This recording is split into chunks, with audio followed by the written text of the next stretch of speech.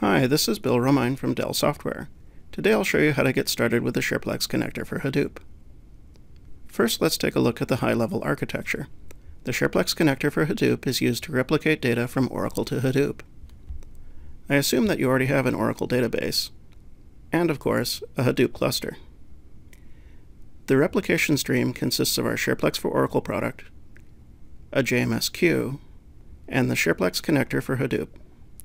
The Shareplex connector for Hadoop comes with Sqoop, so we won't need to independently install Sqoop. Let's get started first with the JMS queue. There are many JMS providers. For my demo today, I'll be using Apache's ActiveMQ. You can download it from the Apache website and is licensed under the Apache license. To install the provider, I'll log into my source system where Shareplex is installed. The JMS provider gets installed under my Shareplex op directory in the lib slash providers directory. First, I'll extract the binary. Then I'll rename the directory so the path is a bit shorter.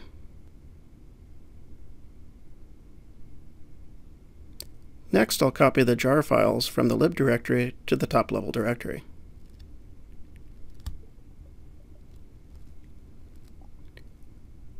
And let's go ahead and start up the provider.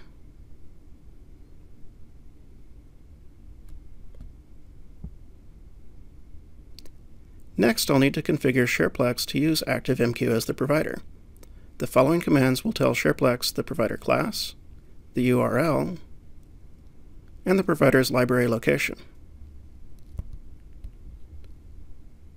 That completes the setup of the JMS provider. So we've set up the JMS queue. Let's focus on the Shareplex connector for Hadoop. The Shareplex connector for Hadoop is installed on my target system, so I'll log into the system hosting my Hadoop cluster. The connector is distributed as a tarball. Inside the tarball is an install.sh script. I'll use this to install the product.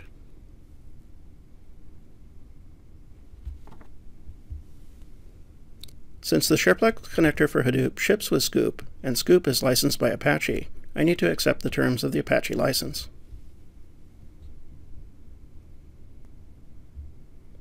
To configure the connector, I'll cd into the connector's bin directory and run the con setup script.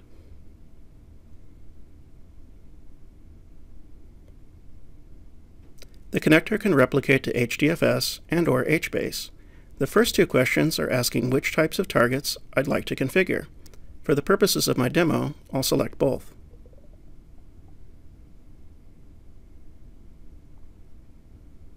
Next, if I selected HBase as a target, I'm prompted for the column family name that will be used for the replicated columns.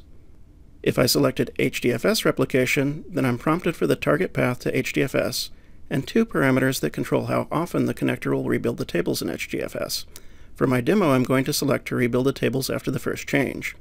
In practice, you'll need to tune these parameters much higher on a production system to avoid rebuilding the table too often. Next, I'm prompted for connection information for the JMS provider. And finally, I'm prompted for connection information to my Oracle database.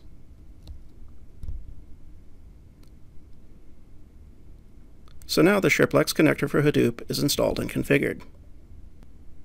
Now that everything is installed, let's go back to Shareplex for Oracle and start replication. First, I'll need a table to replicate. Let's create a small table with a primary key. A primary key is required for replication to Hadoop.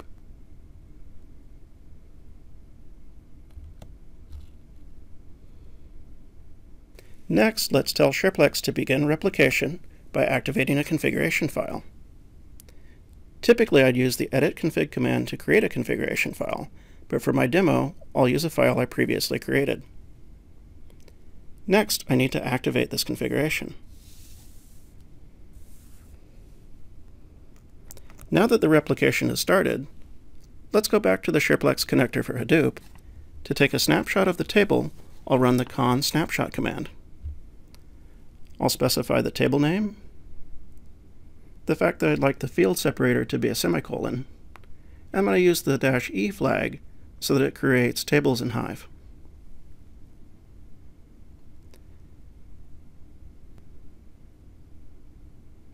Okay, the copy is complete. Let's take a look at the tables in Hive.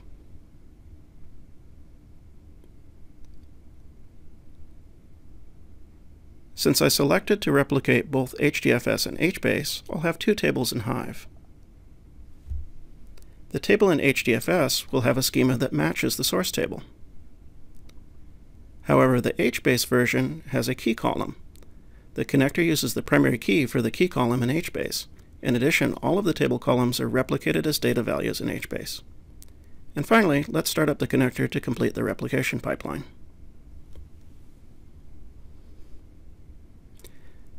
So now that everything is in place, let's make some changes on the source and see that they get replicated over to the target. So I'll go back to my source, and I'm going to run a script that makes some changes to my source table.